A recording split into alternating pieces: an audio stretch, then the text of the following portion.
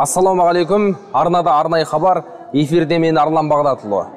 Экспо 2017 халықаралық мамандандырылған көрмесіне келетін туристердің есебінен астанада адам саны айтарлықтай артып келеді. Мұндай кезде қауіпсіздік шаралары бұрынғысынан еселенетіні сөзсіз. Ал қоғамдық тәртіпті қадағалауға жауапты астана қаласының ішкі істер департаменті мен жергілікті полиция өкілдерінің экспо 2017 көрмесіне дайындықтары қалай? Олар біліктіліктерін қалай пысықтады? Бұйырса бірге білетін боламыз. Астанада және республиканың шекаралас облыстарында экспо халықаралық мамандандырылған көрмесін өткізу қарсаңындағы құқықтық тәртіп пен қоғамдық қауіпсіздік деңгейін арттыруға бағытталған профилактикалық пысықтау шаралары жүргізілді. Шараға құқық қорғау органдарының елеулі күштері тартылды. Біздер осы экспо қарсаңында осы бір ай екі ай бұрын біздер астана қаласында жаңағы құқық бұзушылықтың алдын алдын алуға бағытталған жедел профилактикалық іс шаралар өткізілді. Ол бір ай төңірегінде өткізілді бір ай осы бір айдың ішінде бізде астана қаласында жаңағы қылмыстың саны 30 пайызға дейін төмендеді. Ол осы полиция қызметкерлерінің жаңағы күшейтілген жұмыстарының арқасында деп ойлаймыз қазақстан республикасы ішкі істер министрлігінің құқық қорғау органдары мен арнайы қызметтермен және астана қаласы әкімдігімен бірге экспо көрмесіне әзірлік және оны өткізу кезінде құқықтық тәртіп пен қоғамдық қауіпсіздікті қамтамасыз ету бойынша кешенді шаралар қабылдап жедел басқару және туындаған мәселелерді тез шешу үшін ведомство аралық штаб құрылған еді. Осындай штабтар елордада және өңірлік ішкі істер департаменттерінде жасақталды. Көрме алдындағы бір ай бұрын ұйымдастырушы кеңсе ғимаратында қауіпсіздікті қамтамасыз ету орталығы өз жұмысын бастап жаңадан штаттық орындар ашылды. Ішкі істер министрлігінің ішкі істер органдарын қайта жарақтандыру және қала астана қаласы әкімдігінің қаржылай көмегінің арқасында астана қаласында елордамызда жалпы қазақстан бойынша тмд елдері бойынша деп айтуға болады. Осындай жедел басқару орталығы құрылды. Бұның негізгі міндеті жедел басқару орталығының полиция кешенді күштерінің бір орталықтан орталықтандырып бір жерден басқару. Экспо көрмесі ашылар алдында дер кезінде әрекет ету тартылған күштер мен құралдарды басқару және үйлестіру үшін астанада өкілетті мемлекеттік органдардың өкілдері. Соның ішінде бейнебақылау операторлары қосымша 2000 мыңнан астам бейнебақылау камераларын орнатқан қауіпсіздікті қамтамасыз ету орталығы астана инноваtions акционерлік қоғамы іске кірісті. Экспо қарсаңында сонымен қатар біздің жедел басқару орталығына қосымша штат саны қосылды. Ол штат санын біз жаңағы адамдарды қабылдап тез арада полицияның жаңағы нормативті заңды құқықтық базаларынан өткізіп үйретіп жаңағы экспо кешенінде қоғамдық қауіпсіздікті қамтамасыз етуге жұмылдырып жатыр көрмені көруге миллиондаған қонақтар келуде. Осыған орай қоғамдық тәртіп күзету мен қауіпсіздікті қамтамасыз етіп туындайтын мәселелерді шешіп жедел басқару үшін бірқатар шаралар кешені қабылданып арнайы құқық қорғау және өзге де мемлекеттік органдар мен ұйымдардың басшылары ішінен жедел штаб пен жұмыс тобы құралды. Алайда қоғамдық тәртіпті қадағалау қызметінде өзіндік қиындықтар жоқ емес. Ол тілдік мәселе. Полиция қызметкерлері ағылшынша біле ме? Олар туристерге қалай жол сілтемек деп ойлап отырған боларсыз. Астана қаласы ішкі істер департаменті басшылығы бұл сұрақтарға жауап әзірлеуге жыл бұрын кірісіп кеткен. Қазіргі соңғы экспо қарсаңында астана қаласын бейнебақылау мен жарықтандыру жаңағы астана инноваtions акционерлік қоғамына берілген. Сол акционерлік қоғам қазір бейнекамералардың санын арттыру жаңағы сапасын жақсарту сол мәселелермен айналысып жатыр. Олар көрменің тыныштығын қамтамасыз етумен қатар шетелден келетін қонақтардың қамын жасауға атсалысады. Ішкі істер департаменті басшылығының айтуынша былтыр сапқа қосылған қызметкерлердің көбі ағылшын тілін жақсы меңгерген. Амандық саулық сұрасып жол сілтеуге сауаты жетеді. Бір сөзбен айтқанда атқарылған жұмыстар мен пысықталған дайындықтар жемісі мен оң нәтижесін беріп жатыр. Ішкі істер департаментінде біздің мына жүз екі операторымыз жаңағы ағылшын тілі курстарынан өтті. Яғни жаңағы шетел азаматтары хабарласатын болса еркін жаңағы ағылшын тілінде ақпарат қабылдаймыз. Экспоның басталған күндерінен ақ бастап ә, шетелді азаматтар біздің ә, полиция қызметкерлеріне жаңағыдай ә, шағым емес ә, бір бірімен жаңағы ортақ тілдерін тауып түсініктеме беріп жатыр енді шетел азаматтарына. Көрме нысандарына бақылау жүргізіп жедел әрекет ету мақсатында мыңдаған жаңа бейне бақылау камераларын орнатып бүгінде астана қаласын толықтай назарында ұстап отырған астана қаласы ішкі істер департаментінің жедел басқару орталығына арнайы ат басын бұрдық. Қазір біз мына жүз екі арнасы хабарламаларды қабылдау бөлмесінде отырмыз. Бұл жерде жүз екі операторлары азаматтардан қоңырауларды қабылдайды. Біз енді көріп өткендей жаңа айтып өткендегідей қоңырау келіп түскенде автоматты режимде карточкасы ашылады. Ол карточкада тиісті деректемелерді енгізеді. жүз екі оператор тез арада оң жақ мониторда қоңырау шалып тұрған азаматтың жаңағы мекенжайы абоненттің нөмірі бәрі анықталып көрсетіп тұрады жақсы. Жалпы инспекторлар қанша уақыт аралығында хабарлама беру керек бұл кісілер? Жүз екі операторлары жаңағы белгіленген жаңағы бұйрықтарға сәйкес жаңағы бір екі тез арада бір екі минуттың ішінде хабарламаны қабылдауы тиіс.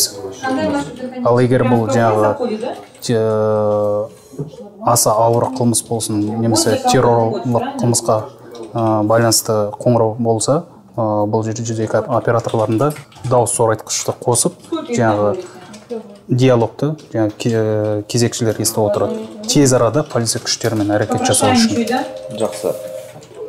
Көбіне қай уақыттарда жаңағы қоңыраулар көбірек түседі? Тәулігіне шамамен жу- ә, жүз екі арнасына мың жарым екі мыңға дейін қоңырау келіп түседі. Ә, әсіресе бұл демалыс күндері мереке күндері қоңырау саны ә, көбейеді. Жүз екі операторы хабарламаны қабылдағаннан кейін тез арада ол карточканы аудан бойынша тиісті кезекші инспекторға жолдайды.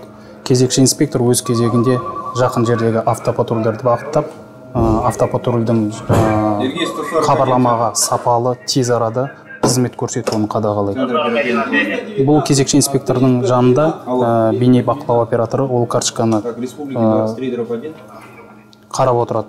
Егер де ол оқиға орнында жанында бейне камералар болатын болса бейне камераның көмегімен қылмысты ізін суытпай ашу үшін сүйемелдейді.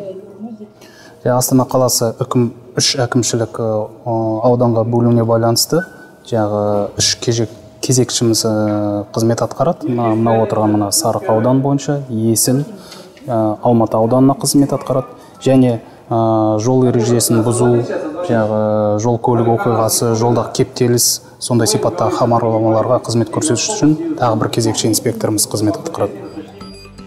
Қоғамдық қауіпсіздікті қамтамасыз етуде астана қаласы ішкі істер департаментінің жедел басқару орталығынан кейінгі жауапты жұмыс жергілікті полиция инспекторларына тиесілі. Хабарлама келіп түскен кезде ол хабарлама ә, міндетті түрде ә, қысқа уақытта жаңағы жол патрульдік полиция қыз- қызметкерлеріне ә, берілетін болады.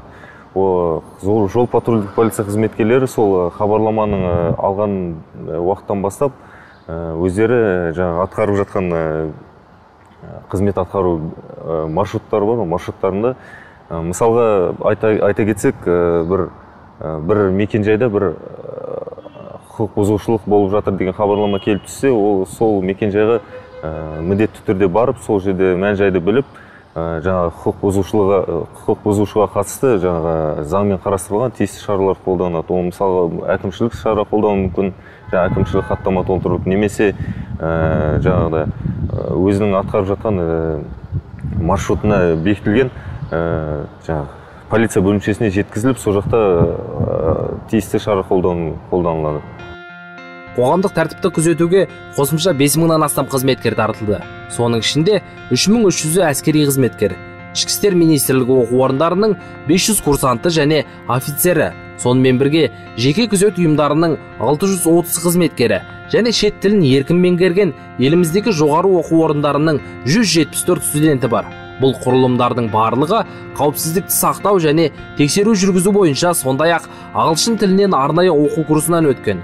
Бұған қоса астана қалалық ішкі істер департаментінің шет тілін білетін 200 қызметкері іріктеліп әрбір экспо нысанына бекітілді. Арнайы топтардан бөлек қоғамдық тәртіпті қадағалауға күніне қалаға 200-ге жуық патрульдік автокөлік шығады. Астана қаласында күніне а, 200-ге жуық автокөліктермен қызметке шығады астана қаласында. Одан бөлек жаяу патрульдерде қызмет атқарады.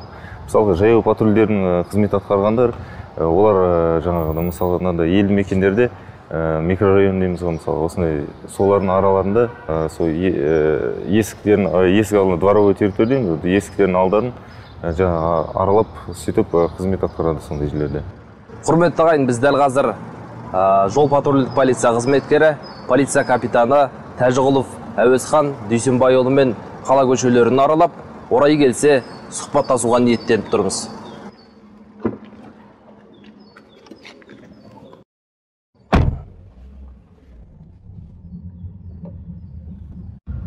Жалпы аға күнделікті міндеттеріңізге не кіреді?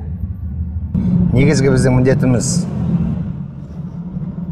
жол қауіпсіздігін сақтау қоғамдық тәртіпті қамтамасыз ету қоғамдық қауіпсіздікті сақтау болып табылады. Азаматтардан келіп түскен жүз екіге түскен қоңыраулар бойынша шақыртуларға қызмет көрсетіледі. Шақырту деп жатырсыз ғой. Ә, жалпы күніне орта есеппен қанша шақырту түседі өздеріңізге? Күнделікті есеп бойынша шақыртулар бір автопатрульге күніне 10, 12, 15-ге шейін шақыртулар түседі. Сол шақыртулардың бәріне көмек көрсетіледі. Негізгі түсетін шақыртулардың көбісі сол түсетін күндізгі мезгілде спирттік ішімдік ішу қоғамдық орындарда да темекі шегу. Сонда өздеріңізге белгіленген аумақта жүресіздер ме? Жоқ ә, белгілі бір пунктте отырасыздар ма? Жоқ. Дәл солай әр патрульге өзіне берілген аумақ бар. Сол аумақтар бойынша аудандар бойынша қызмет етіледі. Ә, құқық бұзушыны қандай жағдайда полиция бөлімшесіне алып кетесіздер? Арыз шағым түскен жағдайда полиция бөлімшесіне жеткізеді. Өзінің оқиға қай жерде болды сол аумақты қызмет атқаратын учаскелік полицейлерге апарылады. Сол жерде азаматтардан шағым алып іс ары әрі қарай қаралады. Сосын мас күйінде жүрген азаматтарды оларды да учаскелік полицияға апарылады. Барлық шақыртулар барлық шақыртулар негізінде аяғына дейін жеткізілу керек қой. Сондықтан да полиция бөлімшесіне апарып сол жерде іс шараларын қолданады. Өзіңізге мәлім қазір халықаралық экспо 2017 көрмесі болып жатыр. Сіздердің тараптарыңыздан қандай көмек болып жатыр? Шетелдік қонақтармен қалай тіл табысып жатсыздар шетел азаматтарымен тіл табысып жатқанда қазір арнайы бізде 102 қоңырауы бар ғой. Сол 112 102 қоңырауында арнайы аудармашылар бөлінген. Қызметкер егер де шетел азаматымен сөйлесіп бірін бірін түсінбеген жағдайда 102-ге қоңырау шалып сол жерде отырған аудармашымен ұялы телефондарын беріп сөйлестіреді. Сосын қажетті жеріне барам деген жеріне жеткізіп салып жатырмыз. Өз басыңызда сондай бір жағдай кездесті ме? Кездесті. Мысалға өткенде бір шетел азаматы түнгі мезгілде тамақтанатын жер іздеген. Содан біздің полицейскийге келіп қайда тамақтану керек екендігін сұраған. Қызметкер 102-ге хабарласып аудармашымен сөйлестіріп сонымен оны тамақтану жерге өзі такси тоқтатып сол жерге жеткізіп енді төлейін десе ішкен тамағына қалтасында тек қана шетел валютасы болған ғой доллар. Сол себептен төлей алмаған. Сосын біздің қызметкер өзінің ақшасын төлеп тамақтандырып қонақ үйіне дейін жеткізіп салған. Өткенде бір тағы бір шетел азаматы өзінің мекен жайын таба алмай қалған пирамида жақта. Онда да 102-ге қоңырау шалып біздің балалар барып көмек көрсетіп тоже қонақ үйіне дейін жеткізіп салды. Әңгімеңізге рахмет. Экспо шарасын ұйымдастырушылар шанхай йосу миланда өткен халықаралық көрмелердегі әлемдік тәжірибені толықтай меңгеріп жүзеге асыра білді. Елорданың қауіпсіздік сақшыларының әлеуетіне қарап мұны нық сеніммен айта аламыз. Хабарымыз осымен тәмам. Ел аман жұрт тыныш болсын. Бүгінгі айтпағымыз осы болды. Тағы жүздескенше күн жақсы.